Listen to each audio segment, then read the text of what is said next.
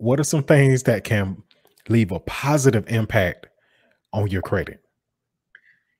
Okay, some things that can leave a positive impact on your credit is paying your bills on time. That is the most important thing. There's no reason for you to sign up for credit repair if you don't have any intentions on paying your bills on time going forward.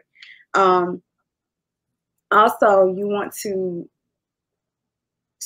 you have to really learn self-control and self-discipline when it comes to having those credit cards. You can't spend, spend, spend.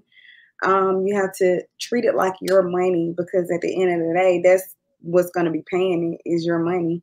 Um, because if you don't pay it, it's going to be another late payment that's going to negatively impact your credit. But to positively impact your credit is all about self-discipline, self-control, money management. Um, even if you can't pay your credit card bill on time, pay the minimum amount all the time. Even if you can't pay in full, please pay the minimum amount because those late payments are very, very hard to convince someone to the credit bureau to remove if you've been late every single month and you couldn't even pay the minimum amount, which is typically $25 or $30 or less than 25 in most cases. So those are the most important things is just paying your bills on time.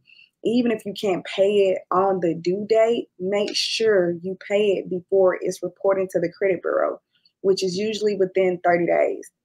So even if you can't pay it that week, make sure you pay it within three weeks before it reports to the credit bureau as a late payment.